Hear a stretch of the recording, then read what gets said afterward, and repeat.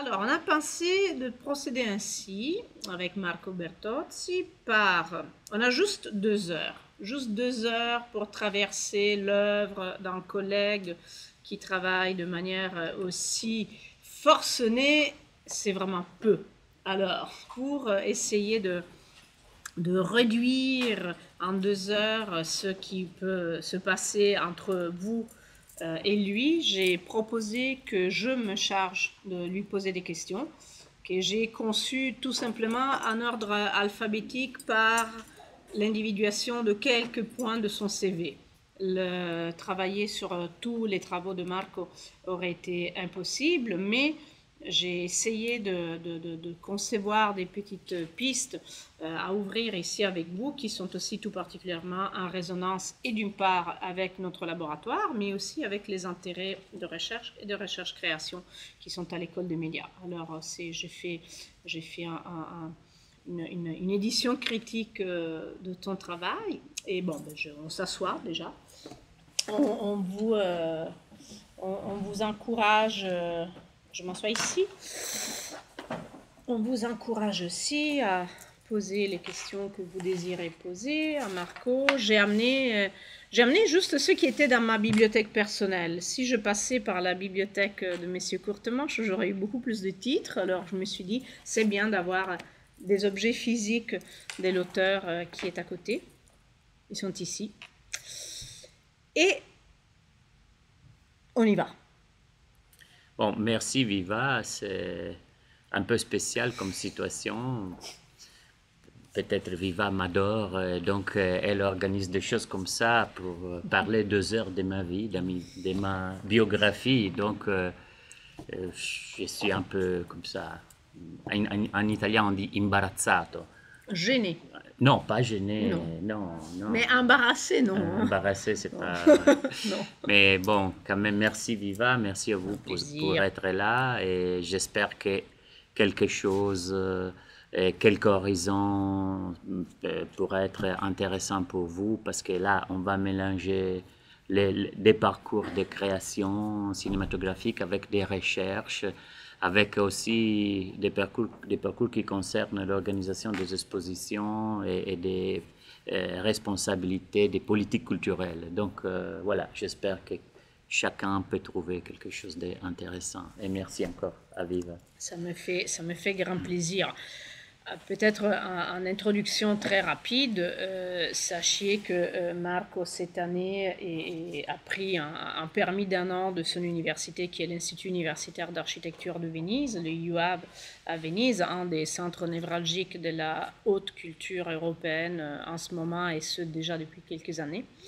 Euh, c'est euh, donc euh, des études de la pratique cinématographique dont il s'occupe principalement au UAV, étant aujourd'hui donc en interaction avec une typologie particulière d'étudiants qui se forment à ce que son programme appelle la culture du projet.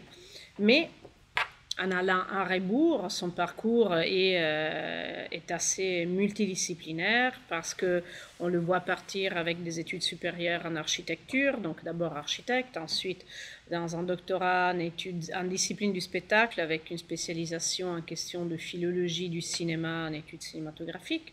Euh, par la suite, euh, il enseigne dans différentes universités euh, importantes italiennes et dans des centres de création cinématographique importants italiens. Et pendant qu'il fait ceci, d'enseigner, il continue de mener de front et de manière active euh, chose précieuse quand on enseigne la création, qu'est de mener activement aussi une, carrière de création. Alors, la, bibliographie et la filmographie sont trop longues. Vous en aurez quelques extraits et, quelques aperçus durant la, discussion. Alors, la première question avec laquelle je voulais euh, introduire ton travail, c'était à propos de ce qu'on appelle, traduit en français de l'italien, le védutisme de vedutisme, c'est-à-dire mot dérivant du terme veduta, la vue. donc cette, euh, le védutisme, terme existant tout de même en français, védutisme en italien, euh, terme spécifique qui euh, désigne surtout la peinture du XVIIIe siècle italienne et flamande, les deux de manière importante, avec des écoles importantes. En Italie, une école vénitienne tout particulièrement importante, avec Canaletto par exemple, du védutisme. Et à partir de, de, cette idée picturale, il y a une lecture que Marco propose dans, un, dans, une étude qui devient livre, euh, celui je l'ai ici physiquement, qui s'appelle L'imaginaire urbain dans le cinéma des origines, la vue lumière, la vedute à lumière, donc un livre publié en 2001, euh, un livre qui de par l'intitulé sur le védutisme, sur la vedute, sur la vue, se rattache donc à un imaginaire qui vient des arts euh, plastiques, qui vient de la peinture, qui vient surtout du regard sur la ville, que certains peintres, à une époque spécifique, ont inventé, au fond, la manière de regarder la ville qui a été inventée. Et que euh, Marco Bertozzi utilise comme loupe pour scruter, comme point de départ, pour regarder un, énorme corpus de cinéma qui est le corpus des vues Lumière, des films réalisés par l'entreprise Lumière, signés par les frères Lumière, réalisés par des, par des euh, opérateurs euh, des par le monde, mais avec cet angle qui amène à regarder le catalogue de ce cinéma de premier temps à partir de la notion de vue. Étant donc la notion de vue non seulement une notion qui relève de la peinture de paysage, mais d'une peinture de paysage en particulier, qui est euh, la peinture de paysage urbain. Paysage urbain remontant au XVIIIe siècle avec des caractéristiques que peut-être les frères Lumière, en tout début, à toute fin du XIXe et en tout, début du XXe siècle, par certains aspects, trouve immué. Pour certaines villes comme Venise, en gros, deux siècles et demi plus tard, les frères Lumière, en fait, se retrouvent à pouvoir filmer les mêmes vedutes que Canaletto avait peint, par exemple. Mais voilà, au-delà de ces cas particuliers de certaines villes assez euh, spéciales, comme Venise le sont, cette idée de considérer un catalogue qu'on fait entrer dans l'histoire du cinéma comme le premier catalogue de cinéma documentaire, le fait de le voir à partir d'une loupe particulière qui est la mise en scène de la ville. entrez, entrez, n'ayez pas peur. à partir de cet aspect particulier qui est la mise en scène de la ville, voilà, c'est un élément sur lequel j'aimerais que Marc revienne. Et aussi en me, disant si sa première formation, qui est donc d'architecte, a fait en sorte que le premier objet cinématographique sur lequel il travaille de manière aussi massive, même d'un point de vue archivistique, est donc lié euh, à, son, à son imaginaire d'architecte. Ok. Bon, euh, je pars avec euh, une citation. C'est une citation de Jacques Legoff qu'il dit que les hommes utilisent les technologies avec la mentalité des hommes précédents.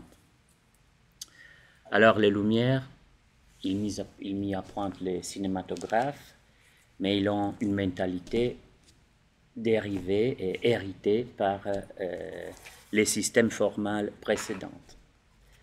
Et les systèmes formels précédents, précédents qui représentaient la ville, c'était la vue. Hein? C'était la vue, en particulier en Italie, on avait une tradition très forte euh, liée au grand voyage, liée aux milords, aux grands voyageurs qui venaient en Italie. Ils achetaient des vues peintres par euh, Bellotto, Guardi, Canaletto, quelquefois Piranesi. Et, ça, c'était une tradition pluriséculière à laquelle les frères Lumière ils s'attachent pour rappeler quand même une nouveauté. La nouveauté, c'est les films mais il n'appelle pas les films films, il appelle les films vus. Donc ça, c'est très intéressant parce que ça concerne une persistance formelle dans une vision du cinéma que, comme disait Henri Langlois, le fondateur et le directeur de la, de la Cinémathèque française, il avait trois siècles du cinéma, les cinémas, donc trois siècles du cinéma. Et dans cette idée-là, appelé vu les films, c'est quelque chose qui nous, nous, touche beaucoup. Aussi parce que euh, pour changer ces, ces, modèles des vues, c'est pas suffisant, sont pas suffisants les premières dix années du cinéma, les premières 15 années du cinéma, mais je pense qu'il y a un vrai changement avec les symphonies urbaines. Mhm. C'est-à-dire dans les années 20, avec la conscience du montage, de la force du montage, là, la représentation de la ville va changer complètement vers une idée euh, plutôt proche à l'idée de Benjamin, à l'idée des, euh, des sociologues qui parlaient de l'expérience aussi émotionnelle et sentimentale de la métropole. Tandis que la vue, on pourrait, on pourrait faire une sorte d'équation. Hein? Mm-hmm. La vue, euh, c'est lié à l'idée des villes intactes comme les films, c'est lié à l'idée de métropole. Voilà, une grande synthèse. Hein. Mais, mais c'est ça, parce que dans les vues lumière, bon, premièrement, ils sont monoponctuels, c'est-à-dire ils, fixent les trépieds, ils, vont tourner pour 50 secondes. Quelquefois, ils mettent aussi les trépieds sur un, un, moyen qui bouge, mais quand même, il y a toujours cette idée de fixité.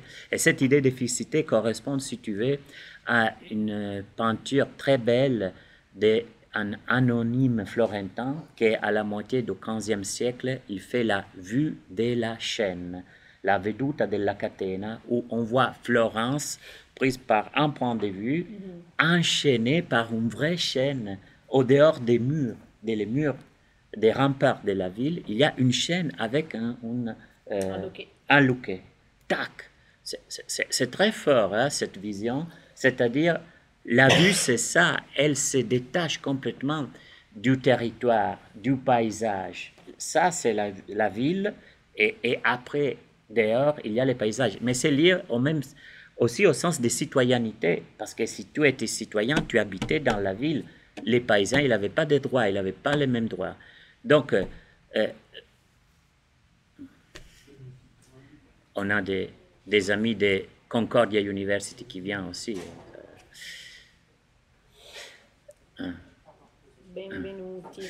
Donc, euh, euh, donc cette idée de, de, fixité la ville comme quelque chose de donné, protéger l'idée de, civitas, c'est-à-dire l'essence d'appartenance à cette ville, c'est bien protégé par les murs, et la vue, ça va être l'institution formelle qui garantit ça. Hein? Donc la, la vue, c'est encore ça. Tandis qu'avec la symphonie urbaine, avec les cinémas qui arrivent après, c'est le changement total. C'est George Zimmel quand il parle des métropoles et vie mentale. C'est la psychanalyse. C'est tout un monde complètement différent qui va quand même être euh, développé dans les années 20 avec le surréalisme, etc. Et ça va donner une autre vision complètement différente de la vie. Et donc là, c'était ma thèse doctorale. Les livres, les livres c'est les livres qu'on voit là, ici. Et, et, bien sûr, la deuxième partie de ta question, euh, les regards que j'ai peut-être bâtis dans ma formation d'architecte à Florence, c'était très important aussi parce que mon diplôme final, c'était pas un projet, c'était un film. Et donc, euh, tout de suite, j'ai vu la difficulté parce que la commission faite par des architectes et des ingénieurs, elle s'est regardée en disant comment on peut évaluer, évaluer un film comme un projet d'architecture. Euh, alors là, il y a eu une grande discussion. Finalement, c'est bien sorti. Je suis bien sorti. Mais c'était intéressant de voir un peu les, voilà, la difficulté d'évaluer euh, pour un diplôme en architecture un film. Le film s'appelait les, les, scénarios de la vacance dans la métropole balnéaire, balnéaire romagnole. Donc, c'était un film sur ma ville. Ma ville s'appelle Rimini, en Italie. C'est une ville linéaire euh, dédiée au tourisme.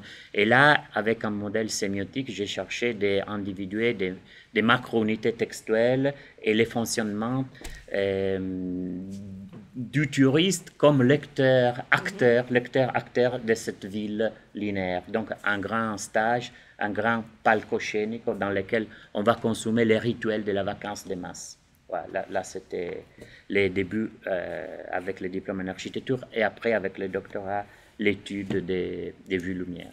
Hmm. Alors il y, a, double lien avec l'architecture dans, ce que tu viens de nous présenter.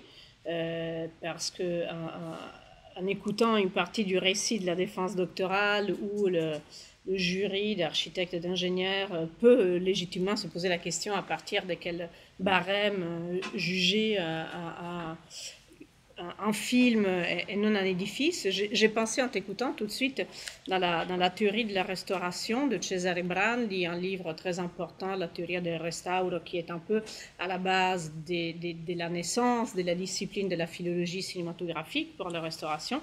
Quand Cesare Brandi parlait justement de l'affinité entre le cinéma et le film, euh, entre le cinéma et l'architecture, en, commentant euh, que tout d'abord, euh, l'œuvre de restauration d'un film doit se tenir. Le film, le film on, considérait, on traitait, on parlait de restauration de pellicules argentiques en 35 mm, donc avec des questions aussi physiques de support. Et, le, et, les commentaires de Brandi, euh, et les commentaires de, des lecteurs, pardon, pas de Cesare Brandi, mais les commentaires des lecteurs de Cesare Brandi comme héros de la, discipline de la restauration cinématographique était de dire, comme Cesare Brandi traitait de la restauration en architecture, comme cette démarche qui permet aux édifices de traverser les siècles, de continuer d'être non seulement debout, mais même euh, euh, vivables dans lesquels on peut transiter, dans lesquels on peut se loger. Euh, ainsi, la restauration du film, donc dans les exégètes de Cesare Brandi, ainsi la restauration du film est cette discipline qui doit permettre de pouvoir physiquement non seulement garder l'image telle qu'elle a été, comme ton travail sur les vues lumière euh, durant la, la recherche doctorale, mais permettre après à cette vue lumière, une fois restaurée, d'être encore vivable avec les moyens contemporains. Donc l'idée aussi de la médiation du film lumière qui peut passer dans un deuxième réseau, qui est celui de la télévision, et qui le rend encore fonctionnel, vivable, pouvant s'adresser avec ces moyens qui sont visuels. Ce n'est pas des escaliers, ce n'est pas des fenêtres, ce sont des moyens visuels de pouvoir s'adresser par-delà les époques. Et, je ne sais pas si euh, à l'époque de, tes études doctorales, était, euh, disons, dans les lectures canoniques, comme ça l'a été dans, dans, mon époque, une dizaine d'années plus tard, la, la, théorie de la restauration de Cesare Brandi, lorsqu'on commence à essayer de comprendre quels sont les enjeux derrière la préservation d'une œuvre, on passe par la pensée de quelqu'un qui s'intéresse à la restauration d'une peinture, mais tout spécialement à la restauration d'édifices, d'architecture. Ah oui, là, il y, a, il y a eu un grand changement en Viva, parce que Premièrement, jusqu'aux années 70, euh, euh, tu prends un film euh, moins colorié à la main, mhm. on resterait seulement les films dans le sens narratif du terme. On perdait la couleur, on disait on a fait une copie en noir et blanche, c'est sauver les films. Tandis qu'après, on a, on a vraiment vu que quelquefois, dans les films coloriés, il avait des aspects narratifs et dramaturgiques très importants dans les couleurs et on appelle des films du mot italien symphonie chromatique stagionale, hein, pour dire saisonnière, pour dire que c'est un film où la, coloration c'est très important.